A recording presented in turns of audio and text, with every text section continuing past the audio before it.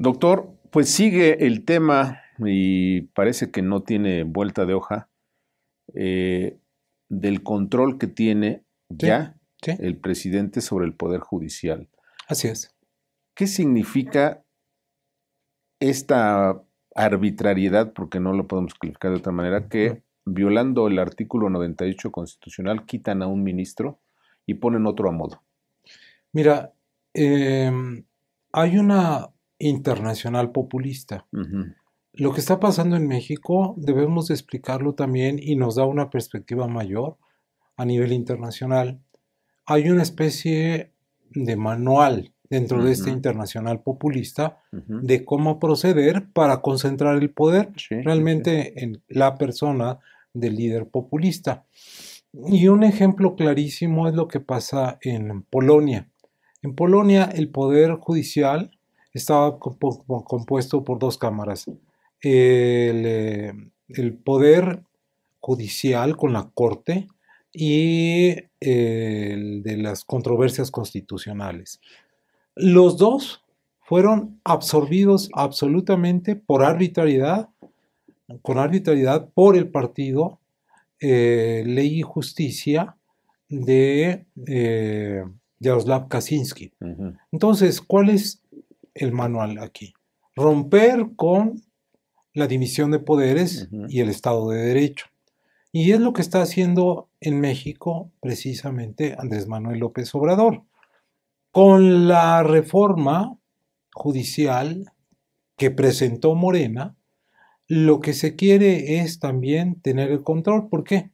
Aparentemente se dice, ya el presidente no va a proponer una terna, pero la va a proponer el Senado, en donde tiene mayoría el partido Morena, y, dicen, y se van a convocar instituciones universitarias y colegios y barras de abogados, etcétera, etcétera.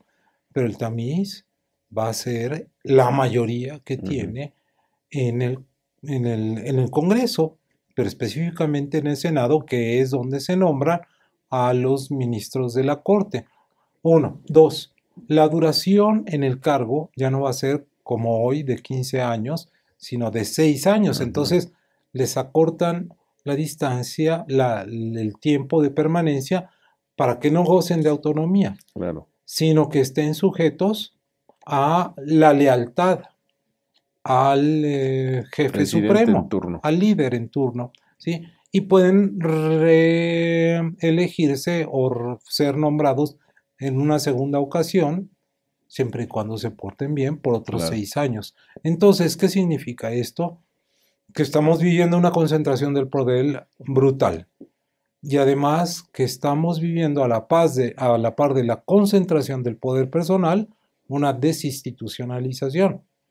Y es un proceso muy grave porque las instituciones que creamos fueron del Estado Nacional, no de un partido en específico, sino del Estado Nacional. A ver, doctor, cuando se produce la renuncia del ministro eh, Medina Mora, Medina Mora eh, se dice que hay mano negra y que el, gobierno eh, es el que mete la mano y lo, aprieta y, lo obliga a, irse. Eh, de acuerdo al artículo 98 constitucional, para que un ministro renuncie se necesitan causas graves. Así es. No hay esas causas graves. El Instituto de Transparencia apela al presidente y lo exhorta a que dé a conocer las causas graves, el INAI, y no hay una respuesta. ¿Frente a qué estamos? Es una violación constitucional. Es una violación constitucional que fue mm, revestida de una renuncia personal diciendo que él tenía, y lo hicieron renunciar así, asuntos que atender. ¿Y cuáles eran esos asuntos que atender? Que no hallaba explicación de montos importantes de dinero que trasladó, que transfirió de Estados Unidos en Londres y estuvo triangulando dinero. Y entonces así a cualquiera le tiene cola que le pisen y es selectivo el asunto. ¡Pum!